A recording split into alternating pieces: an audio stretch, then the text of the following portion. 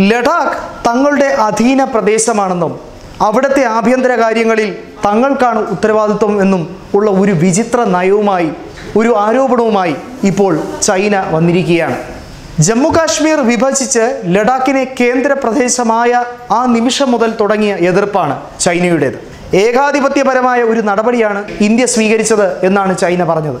ഇതുമായി ബന്ധപ്പെട്ട് മാനസരോവർ തീർത്ഥാടകരെ വലിയ ബുദ്ധിമുട്ടിലേക്ക് തള്ളിവിട്ടിരിക്കുകയാണ് ചൈന. ചൊവ്വാഴ്ച വിസ ലഭിക്കേണ്ടിയിരുന്ന ഇന്ത്യൻ സംഘത്തിന് ഇത് സംബന്ധിച്ച് ഒരു വിവരവും ലഭിക്കാത്ത രീതിയിൽ ബുധനാഴ്ച രാവിലെയാണ് ഇപ്പോൾ പുതിയ പ്രസ്താവനയുമായി ചൈന വരികയും അതോടൊപ്പം അവരുടെ വിസ റദ്ദാക്കുകയും ചെയ്തിരിക്കുന്നത്. യാത്രയ്ക്ക് ചൈന വിലക്ക് ഏർപ്പെടുത്തിയിരിക്കുകയാണ്. ജൂൺ എട്ടിന് ആരംഭിച്ച ഈ വർഷത്തെ കൈലാസ് മാനസരോവർ യാത്ര അടുത്ത മാസം അവസാനിക്കാനിരിക്കെ ഇപ്പോൾ ഈ ഒരു നടപടി അങ്ങേയറ്റം അപലപനീയമാണെന്ന കാര്യത്തിൽ സംശയമില്ല.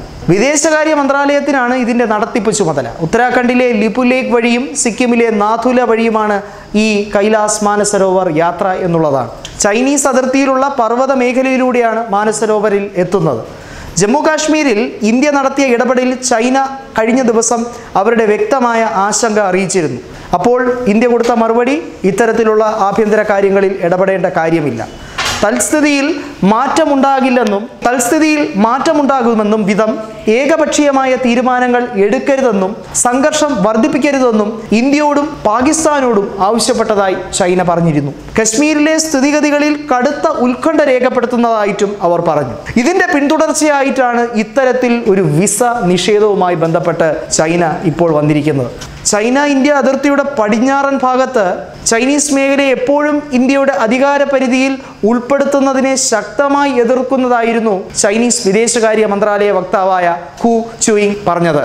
എന്നാൽ ഇന്ത്യയുടെ അധികാര പരിധിയിൽ ഉള്ള ലഡാക്കിനെ കേന്ദ്ര പ്രദേശ ഭരണമാക്കിയത് ഇന്ത്യയുടെ ആഭ്യന്തര കാര്യം മാത്രമാണെന്ന് ഇതിനോടകം തന്നെ ഇന്ത്യ പറഞ്ഞിരുന്നു. ഇന്ത്യയുടെ ആഭ്യന്തര കാര്യമായതിനാൽ തന്നെ മറ്റു രാജ്യങ്ങളുടെ ആഭ്യന്തര വിഷയങ്ങൾ ഇന്ത്യ പരാമർശിക്കാറില്ല. അതുപോലെ തന്നെ തിരിച്ചും പ്രതീക്ഷിക്കുന്നു എന്നാണ് വിദേശകാര്യ വക്താവായ രവീഷ് കുമാർ ഇതിന് വ്യക്തമായ മറുപടി നൽകിയത്. ഇന്ത്യ ചൈന അതിർത്തിയിൽ രാഷ്ട്രീയ ഘടകങ്ങളുടെ അടിസ്ഥാനത്തിൽ ന്യായമായ പരസ്പര സ്വീകാര്യമായ പരിഹാരത്തിന് ഇരുപക്ഷവും വർഷങ്ങളായുള്ള സമ്മതപത്രം നൽകിയിട്ടുണ്ട്. അതിർത്തി പ്രദേശങ്ങളിൽ പ്രത്യേകമായും സമാധാന അന്തരീക്ഷം നിലനിർത്താൻ ഇന്ത്യയും ചൈനയും തമ്മിൽ ധാരണയുള്ള കാര്യവും രവീഷ് കുമാർ പറഞ്ഞു.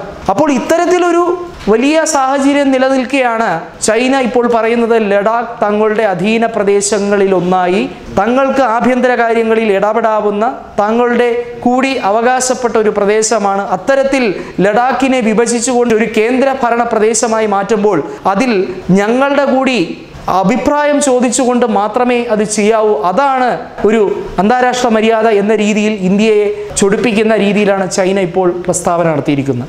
ലഡാക്ക് അവരുടെ പ്രവിശ്യയാണെന്ന് പറയുന്നത് ഏത് അർത്ഥത്തിലാണ് എന്നിപ്പോഴും ഇന്ത്യയ്ക്ക് മനസ്സിലാവുന്നില്ല. അഥവാ ലഡാക്കിൽ ആഭ്യന്തരമായിട്ട് ചൈനയ്ക്ക് വലിയ അധീനതയുണ്ട്.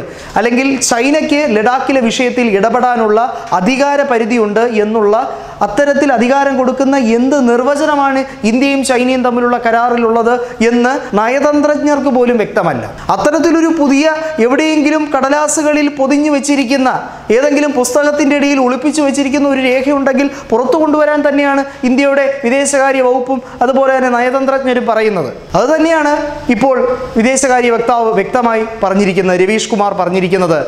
അത്തരത്തിലൊരു നയം ചൈന എടുത്താൽ വലിയ രീതിയിലുള്ള സംഘർഷത്തിന് സാധ്യതയുണ്ട്. കാരണം ഇന്ത്യയിൽ വലിയ രീതിയിലുള്ള മാറ്റത്തിന് വേണ്ടി ഒരു ഏകീകരണത്തിന് വേണ്ടി ഒരു ഏകീകരണത്തിന് വേണ്ടിയും ഒരൊറ്റ പതാകയ്ക്ക് വേണ്ടിയും നിലകൊള്ളാൻ വേണ്ടി പ്രത്യേകമായ അനുച്ഛേദങ്ങളെ എടുത്തു മാറ്റിയത് പ്രശ്നസങ്കീർണമായ പല കാര്യങ്ങൾക്കും അതുപോലെ തന്നെ സമാധാന നിലനിൽപ്പിനു വേണ്ടിയുമൊക്കെയാണ് ചെയ്തത്. അതിനെ തെറ്റായി വ്യാഖ്യാനിച്ചുകൊണ്ട് മുന്നേറാനാണ് ചൈനയുടെ ശ്രമമെങ്കിൽ അത് വില പോകില്ല എന്നാണ് വിദേശകാര്യ വക്താവ് പറഞ്ഞിരിക്കുന്നത്. ന്യൂസ് ഡെസ്ക് മലയാളി വാർത്ത.